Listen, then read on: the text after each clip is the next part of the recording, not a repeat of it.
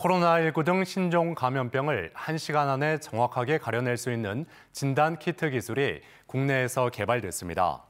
한국생명공학연구원은 바이러스가 특정 단백질을 만나면 빛을 내는 간편 검출 센서를 개발했으며 코로나19 바이러스로 실험한 결과 50분 만에 PCR 검사의 95% 수준의 정확도로 진단하는 데 성공했다고 밝혔습니다.